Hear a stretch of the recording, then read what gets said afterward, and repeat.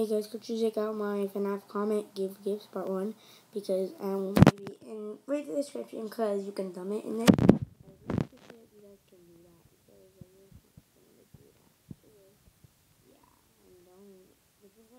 the